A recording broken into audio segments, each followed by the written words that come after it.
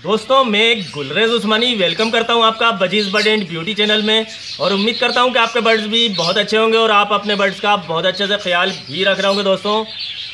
दोस्तों, आज मैं जो वीडियो बनाने जा रहा हूँ, बहुत ही आम चीज़ का वीडियो बना रहा हूँ और ये समझिए, आम भी है और बहुत ही ख़ास है। ख़ास ऐसी है कि बजीज़ बर्ड एंड ब्यूटी जैसा मेरा चैनल है, बजीज़ के बारे में है।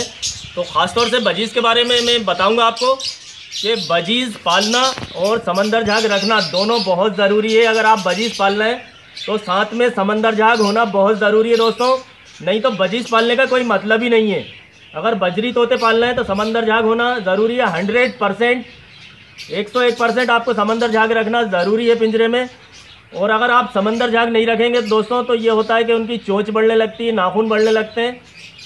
कैल्शियम की कमी हो जाती है उनको, समंदर जाग, कैल्शियम होता है पूरा का पूरा, कैल्शियम कार्बोनेट होता है, समंदर जाग होता है। अब हम अनबॉक्सिंग करते हैं समंदर जाग की भी। तो मैं बताता हूँ आपको, देखिए, ये समंदर जाग है दोस्तों, ये देखिए आप ये आपके सामने है, इसको बोलते हैं समंदर जाग। अगर जिन नए भाइयों ने नहीं देखा हो, वैसे तो आम सी चीज़ है, समंदर जाग। तोते पालने वाले सभी जानते हैं इसके बारे में, और जो नहीं जानते हैं तो वो उनको जान लेना चाहिए। ये एक हड्डी होती है बताने की वैसे ज़रूरत तो नहीं है, लेकिन अब वीडियो है तो मैं पूरा बताऊँगा। इसके बारे में कटल फ़िश बोन हड्डी होती है, मछली की हड्डी होती है, और ये एक तरह की मछली होती है कटल फ़िश उसकी हड्डी होती है ये। तो ये देखिए दोस्तों, इसको आप केज में रखना है तो इस तरह से रख देंगे कि एक टुकड़ा आपने ये लिया और ऐसे केज में कहीं भी पटक देंगे। तो मैं तो हमेशा एक टुकड़ा मेरा रखा ही रहता है केज में, और जैसे ही ख़त्म होता है वैसे ही रख देता हूँ।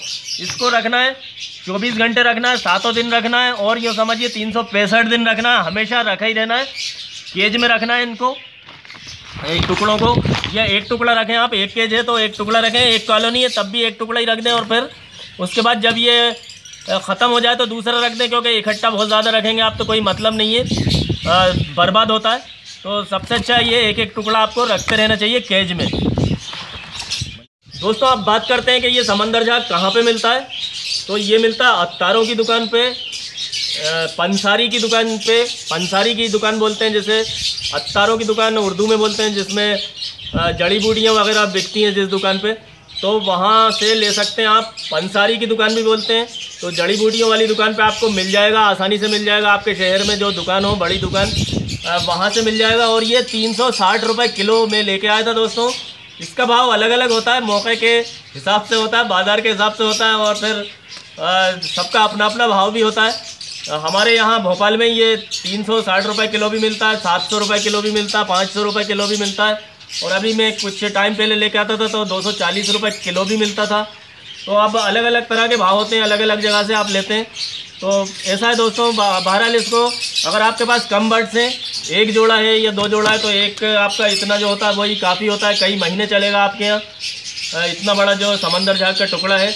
तो ये बताया मैंने कि आपको कहाँ से मिलेगा। तो घबराने की बात नहीं है, मिल जाएगा आपको। वज़न में बात करें तो बड़ा हल्का होता है। बहुत ही हल्का होता है वज़न में, लेकिन इसका काम जो होता है बहुत ही भारी होता है और बहुत ज़्यादा फ़ायदेमंद होता है बजरी तोतों के लिए। मैंने बताया बहुत ज़रूरी होता है। इसके बगैर बजरी तोते पालने ही नहीं चाहिए। अगर समंदर झाग नहीं, अगर आपके यहाँ समंदर झाग नहीं मिल रहा है, पहले समंदर झाग में तो कहता हूँ, अगर आप तोते पालना चाहते हैं, बजरी तोते या कोई से भी तोते तो पहले समंदर झाग का मालूम करके आए कि मिलता है कि नहीं मिलता, फिर बजरी तोते पालें। नहीं तो तोते ख़राब हो जाते हैं, कोई मतलब नहीं है इसको, बगैर इसके पालने का कोई मतलब नहीं होता है दोस्तों।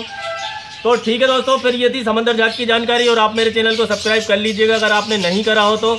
क्योंकि आप मेरे चैनल को सब्सक्राइब कर लेंगे तो उससे ये होगा कि जब भी कोई मैं वीडियो अपलोड करा करूँगा तो फिर आपके नोटिफिकेशन पे आ जाए करेगा। तो मिलते हैं फिर एक अगले वीडियो में दोस्तों।